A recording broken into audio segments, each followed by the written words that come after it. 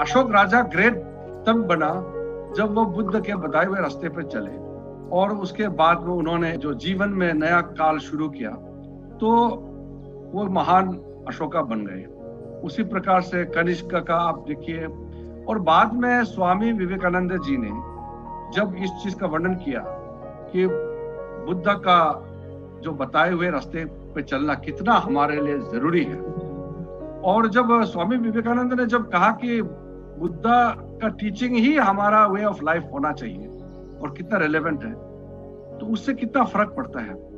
उसके बाद जब हम देखते हैं कि बाबा साहब भीमराव अंबेडकर जी का जो बहुत बड़ा जो फैसला हुआ, उससे कितना बड़ा बदलाव हुआ और बुद्ध का बताए हुए वो रास्तों को फिर से, एक तरह से कहना जाए, कहा जाए तो इसको फिर से पुनर्जीवित कराया हम लोग के सामने में।